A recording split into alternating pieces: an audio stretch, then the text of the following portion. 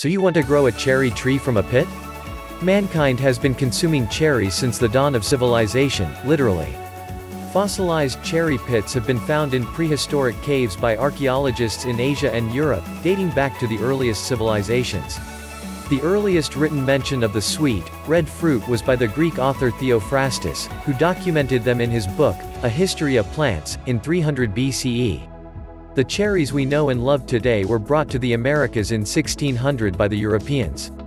There are over 1,000 different known varieties of cherries.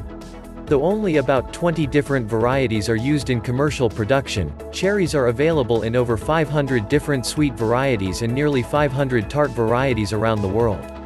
In the U.S., three states produce over 94% of the nation's sweet cherries, Washington, Oregon, and California. Michigan produces over half of the nation's tart cherries, which are primarily used for cooking, as opposed to eating raw. An average cherry tree can produce 7,000 cherries per year. Modern cherry farmers use a mechanical shaker that grabs the tree and shakes it hard enough to loosen the fruit, which falls on a massive tarp, and is then funneled into a conveyor belt. Though you are probably a long way away from a mechanical shaker and a conveyor belt, a couple of cherry trees on your property is one step closer to growing your own orchard. Varieties of cherry trees.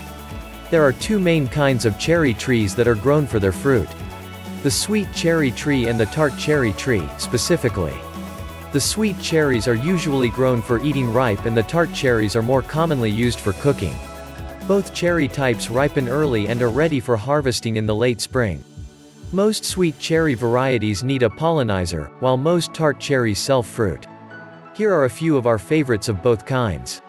Sweet cherries, Black Tartarian, an early season favorite, the Black Tartarian boasts massive, black-purple fruit that is sweet, juicy, and tender. The Black Tartarian cherry tree is also a prolific fruit producer. Bing. Bing cherries are one of the most commonly grown cherries and one of the most popular types available commercially. The fruit is large and dark and ripens mid-season. Chelan. Resistant to cracking, Chelan cherries grow upright and swiftly, maturing two weeks prior to Bing cherries. Rainier. Rainier cherries ripen in mid-season. They are yellow in color, with a red blush. They are somewhat popular commercially. Coral. Coral cherries have an excellent flavor. They have large, firm fruit, that is resistant to cracking. Benton. Said to have surpassed the Bing cherry, the Benton is a self-fertile tree, whose fruit ripens mid-season. Stella, our late-season favorite, Stella is a sweet cherry with a large blood-red fruit. The Stella cherry tree is sensitive to cold weather, but highly productive late in the season. Sour cherries, Early Richmond, the Early Richmond is a lovely sour cherry that is ready for harvest early in the season.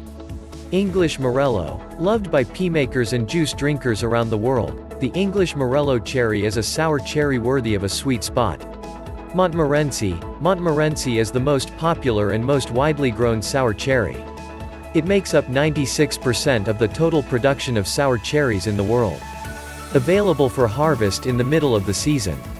Meteor, late in the season, the meteor cherry is ready for harvest. A dark, tart cherry with a very distinctive flavor. How to plant a cherry tree, Part 1, Preparation. First, you will want to acquire some cherries. You don't want to get them at the grocery store, as they are stored in refrigerated rooms that make the seeds a nightmare to germinate. Instead, you will want to source the cherries from a farmer's market, or from a cherry orchard in your area. Eat them and put the pits into a bowl of warm water for around 5 minutes, gently scrubbing them clean of any clinging bits of fruit.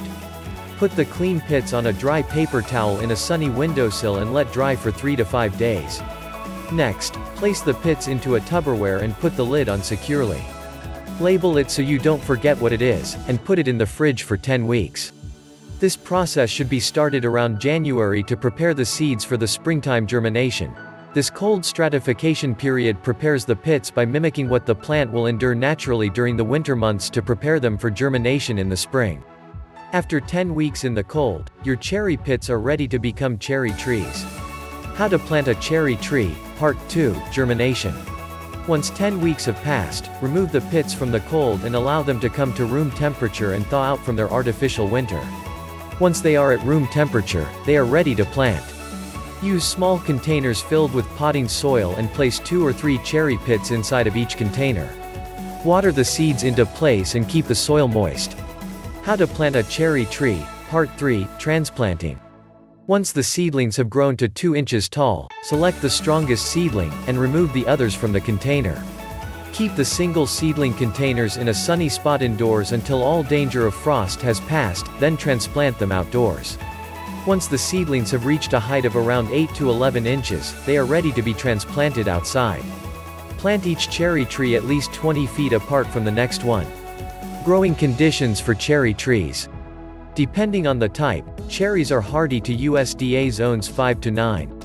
Cherry trees enjoy full sunlight and though they are not partial to any particular soil type, they do like a pH range of slightly acidic to neutral, and require deep, well-draining soil. When growing sweet cherries, you will want to grow different varieties that will pollinate each other naturally. Care for cherry trees. There is no difference in care between sweet and sour cherry trees, though there are sometimes differences between the care of individual varieties. For the most part, however, cherry tree care is pretty universal. Apply mulch to retain moisture from waterings and rainfall. Fertilize your cherry trees each spring until the tree starts to bear fruit. Afterwards, fertilize only after harvesting each season. Water your cherry trees often, especially in dry areas, and during droughts or dry spells. Drape netting over the trees to protect the fruit from birds and other scavengers. You do not have to thin back your cherry trees as the thinning process occurs naturally in the early summer months. Prune your cherry trees every year in the late winter to encourage new growth. Do not prune during the fall. Harvest fruits only when they are fully ripe. Do not pluck cherries off by hand. Clip the stems off with scissors. Health benefits of cherries. Cherries are full of antioxidants. These cellular warriors help your body slow down aging and fight against chronic illnesses, such as heart disease, diabetes, cancer, Alzheimer's, and obesity. Consuming cherries can help lower the risk of gout attacks, provide arthritis relief, and protect against diabetes. Eating cherries promotes healthy sleep, helps to curb high cholesterol, and can help reduce post-exercise pain. Cherry tree pests and diseases. Cherry trees are relatively disease-free but are known to have issues with pests, as well as scavengers. You will want to prepare yourself to defend your harvests when necessary. You may run into issues with aphids, Japanese beetles, caterpillars, and the most notorious of scavengers, birds. There are a few diseases that have been known to affect cherry trees. These include brown rot, black knot, and bacterial canker. Any branches that show signs of black knot or bacterial canker should be cut off and discarded immediately.